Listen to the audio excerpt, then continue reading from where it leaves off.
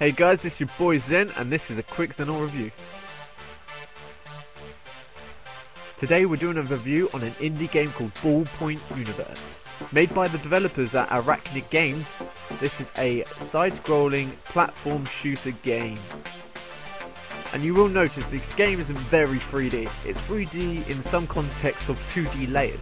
But The 2D layers were actually drawn on bits of paper and then scanning, all drawn by a ballpoint pen. That's where it gets its name, Ballpoint Universe.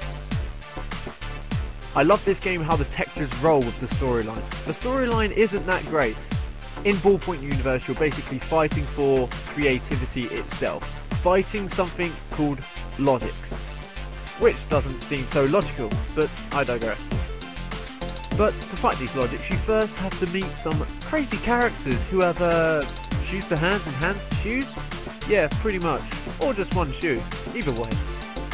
In Ballpoint Universe, there are some parts where you have to think and actually use your mind to get through a certain part onto the next platform. A completely simple game through a design which is so creative it's unbelievable. I give this a 5 out of 10 just for the sheer drop of storyline aspect. But is that being a little too harsh? Tell you what, I will give it a 6.5 out of 10 just for the sheer creativity and the platform game is absolutely amazing. This has been ZennoR and have a good day.